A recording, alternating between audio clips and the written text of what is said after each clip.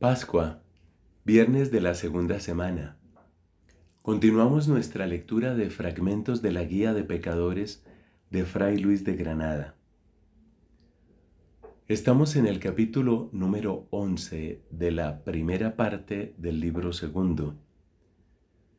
Después de revisar el daño que causan los pecados capitales, ahora el autor quiere centrarse en otras faltas que, por ser tan frecuentes, merecen atención.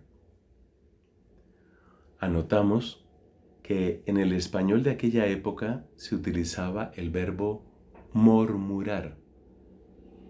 En esta lectura utilizaremos la versión actual, es decir, murmurar. De otra manera de pecados que debe trabajar por huir el buen cristiano, del murmurar, escarnecer y juzgar temerariamente. Demás de estos siete pecados que se llaman capitales, hay otros también que se derivan de ellos, los cuales no menos debe trabajar de evitar todo fiel cristiano que los pasados. Entre estos, uno de los más principales es jurar el nombre de Dios en vano, porque este pecado es derechamente contra Dios y así, de su condición, es más grave que cualquier otro pecado que se haga contra el prójimo por muy grave que sea. Y no solo tiene esto verdad cuando se jura por el mismo nombre de Dios, sino también cuando se jura por la cruz y por los santos y por la propia vida, porque cualquiera de estos juramentos, si cae sobre mentira, es pecado mortal, y pecado muy reprehendido en las escrituras sagradas como injurioso a la divina majestad. Verdad es que cuando el hombre descuidadamente jura mentira, excusarse ha de pecado mortal, porque donde no hay juicio de razón ni determinación de voluntad, no hay esta manera de pecado, mas esto no se entiende en los que tienen costumbre de jurar a cada paso sin hacer caso ni mirar cómo juran, y no les pesa detenerla ni procuran hacer lo que es de su parte por quitarla, porque éstos no se excusan de pecado cuando por razón de esta mala costumbre juran mentira sin mirar en ello, pudiendo y debiendo mirarlo. Ni pueden alegar que no miraron en ello ni era su voluntad jurar mentira, porque supuesto que ellos quieren tener esta mala costumbre, también quieren lo que se sigue de ella, que es este y otros semejantes inconvenientes, y por esto no deja de imputárseles por pecados y llamarse voluntarios. Por esto debe trabajar el cristiano todo lo posible por desarraigar de sí esta mala costumbre, para que así no se le imputen estos descuidos por culpa mortal. Y para esto, no hay otro mejor medio que tomar aquel tan saludable consejo que nos dio el Salvador y después su apóstol Santiago diciendo, ante todas las cosas, hermanos míos, no queráis jurar ni por el cielo, ni por la tierra, ni otro cualquier juramento, sino que sea vuestra manera de hablar sí por sí y no por no, porque no vengáis a caer en juicio de condenación. Quiere decir, porque no os lleve la costumbre a jurar alguna mentira, por donde seáis juzgados y sentenciados a muerte perpetua.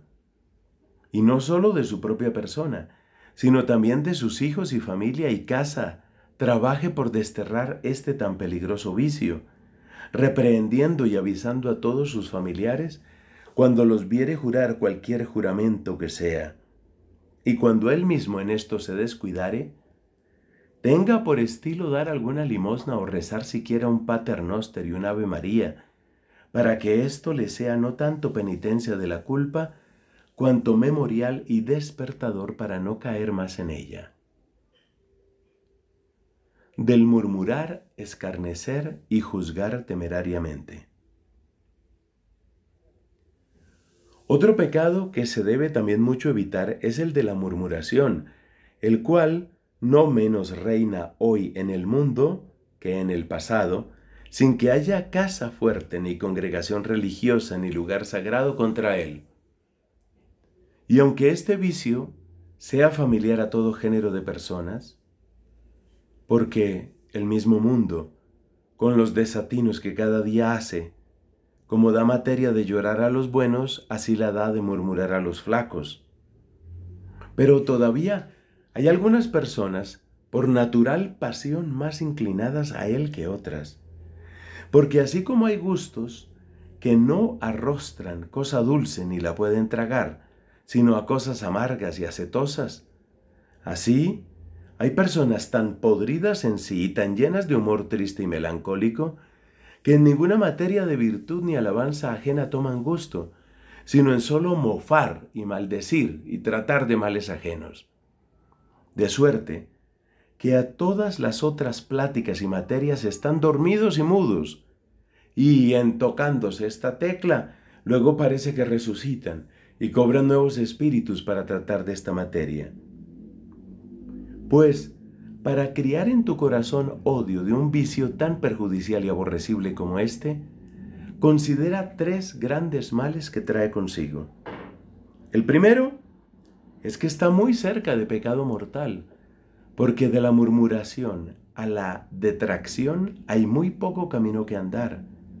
Y como estos dos vicios sean tan vecinos, fácil cosa es pasar del uno al otro, así como los filósofos dicen que entre elementos que concuerdan en alguna cualidad, es muy fácil el pasaje de uno a otro. Y así vemos acaecer muchas veces que cuando los hombres comienzan a murmurar, fácilmente pasan de los defectos comunes a los particulares, y de los públicos a los secretos, y de los pequeños a los grandes, con que dejan las famas de sus prójimos tiznadas y desdoradas. Porque después que la lengua se comienza a calentar y crece el ardor y deseo de encarecer las cosas, tan mal se enfrena el apetito del corazón como el ímpetu de la llama cuando la sopla el viento, o el caballo de mala boca cuando corre a toda furia. Y ya entonces el murmurador no guarda la cara a nadie, ni cesa de ir adelante hasta llegar al más secreto rincón de la posada. Y por esta causa deseaba tanto el eclesiástico la guarda de este portillo, cuando decía, ¿quién dará guarda a mi boca? y pondrá un sello en mis labios, para que no venga a caer por ellos y mi propia lengua me condene. Quien esto decía, muy bien conocía la importancia y dificultad de este negocio, pues de solo Dios deseaba y esperaba el remedio que es el verdadero médico de este mal, como lo testifica Salomón diciendo, al hombre aparece, al hombre pertenece a aparejar el ánima, mas a Dios gobernar la lengua. Tan grande es este negocio.